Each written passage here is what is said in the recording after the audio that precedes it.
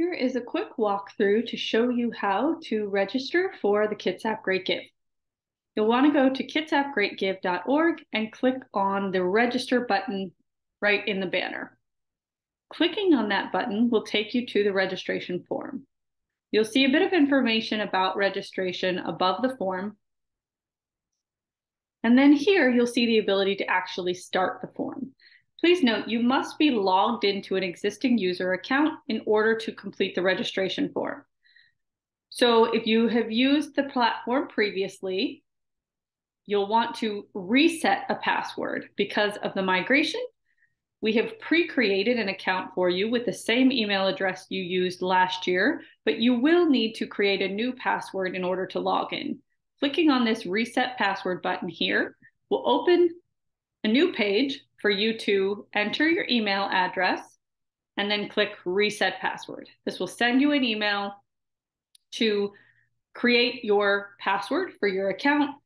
You'll then want to come back to the registration form and log in to start the registration. For anybody that's brand new, you'll first need to create a user account in order to log in.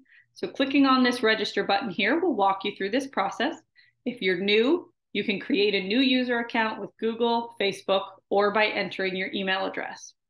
For anyone, again, that is a previous user of the past platform, you have the ability to enter your email address here as well and click Forgot Password.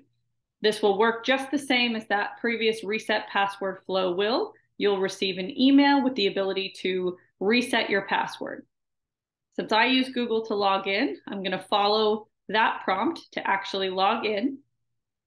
Once you log into your user account or create a new user account uh, for any organizations that are new, you'll see the form changes a bit and you have the ability to enter your organization's name or EIN number.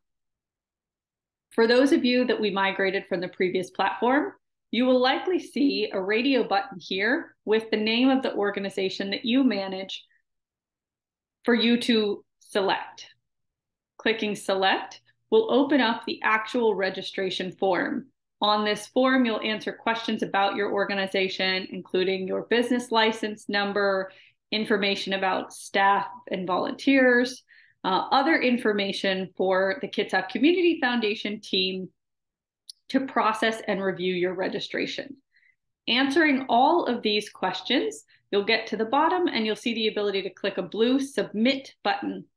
If you don't answer these questions and click submit, your organization will not have started the process for the Kitsap Great Give registration. Thanks so much, and I hope that's helpful.